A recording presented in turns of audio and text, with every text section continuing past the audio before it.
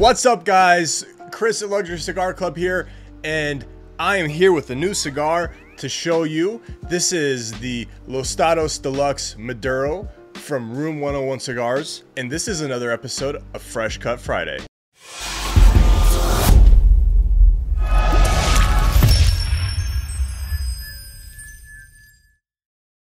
So, uh, as many of you guys know that uh, Matt Booth sold Room 101 Cigars to STG, and he's still the creative director there. So this cigar is is very heavily influenced by Matt Booth. I've actually smoked a few of these already, and I'm really excited to smoke another one with you guys today. Um, I will be smoking the Maduro Churchill. It's a 7x49. Uh, comes in a 20 count box, which is right here. This box is amazing. Guys, I'm really excited to be back here with you today. This is the first episode of Fresh Cut Friday that we've done in quite a while. There's nothing better than a Room 101 stick to get us started again. Now remember, Fresh Cut Friday is an overview of the cigar and not a review of the cigar. We are very much of the mindset that, that taste is selective. I'm gonna give you maybe my opinion and, and that doesn't represent anyone else's opinion. So as always, try it for yourself, and uh, that's the best way to go. So without further ado, without more pause, without holding any longer, I'm gonna smoke one of these. Presentation of the cigar is absolutely beautiful, paper wrapped. Let's get you guys a little bit of a closer look at the paper wrap. So um, Matt Booth has done this paper wrap before uh, a lot, and usually he uses a stick of tape to seam to put the seam together. This is looks like it's glued or something like that. The the the little piece of tape comes undone often in the humidor after a while. This looks like it's going to stay sealed much better. So I'd like to see that they have identified an issue there and potentially corrected it as well. Um, behind the paper wrap is the nice little tissue paper, which is pretty cool. And then behind that is, drum roll please, the cigar. And what a beautiful cigar it is. You know, one of the things that I really, really am excited about this specific brand is the value proposition of it. Now this is the second release in the Los Statos Deluxe line, also known as LSD. Uh, the cigar comes in four different sizes. It comes in a Robusto 5x50, comes in a 6x52 Toro, and it also comes in a 7x49 Churchill, which is what I'm smoking right here. And then it comes in a 6x60, a Gigante. One thing I notice about Room 101 specifically is since they did join STG, Scandinavian Tobacco Group, there's been a lot of 60 ring gauge cigars coming out of the factory.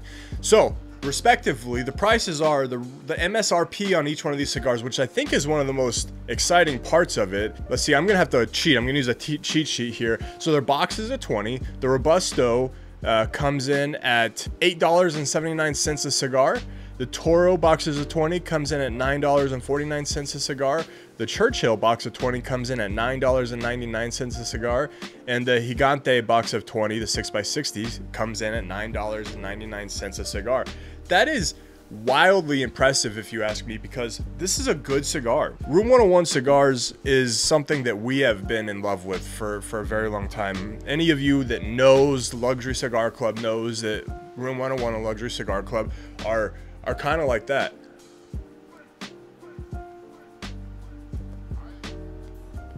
The production on these cigars is, is regular production. They're made at HATSA Honduras. It's a U.S. broadleaf wrapper. It is a, a Nicaraguan Esteli binder, and it is a Dominican and Honduran filler blend on the cigar. I would call the cigar medium to medium plus, maybe medium plus to full, depending on your palate. The wrapper leaf is, is gorgeous. It's not the best highest tier quality wrapper leaf and and again the one i'm smoking here the retail on it is $9.99 so you're talking about you know today and at and today's prices this is a pretty well priced cigar but the wrapper leaf on the cigar is nice looking wrapper leaf it's not the the cleanest looking wrapper leaf that i've ever seen on a cigar but it, it, it is good looking. Smoke time on the Churchill for me is about an hour and a half, maybe a little bit less depending on how fast I'm smoking or if I'm doing a lot of work while I'm smoking. Flavors. Real typical broadleaf notes. A little bit of sweetness, a little bit of cream. So really unique experience when you have Piloto Cubano in a cigar.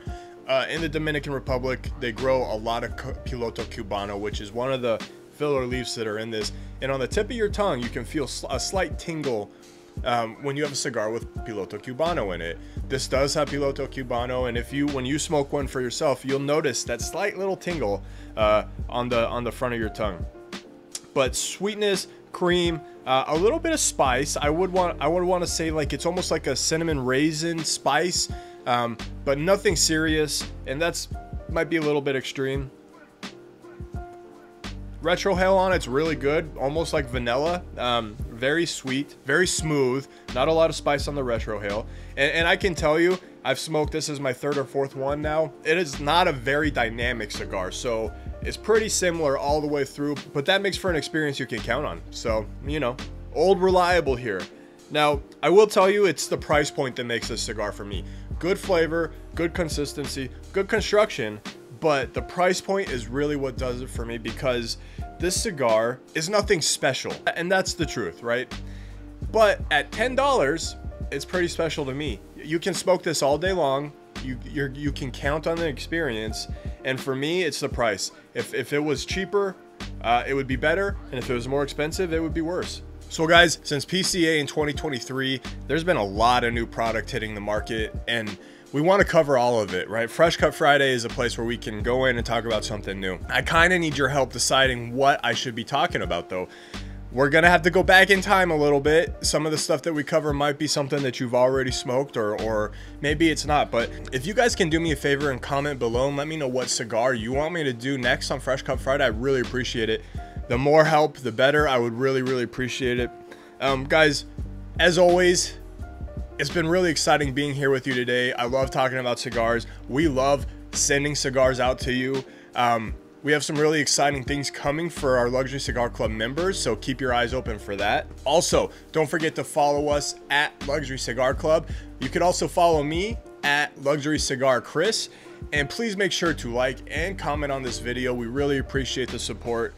This has been another episode of Fresh Cut Friday, and damn it, I'm happy to be back. I love you all very much. Bye bye.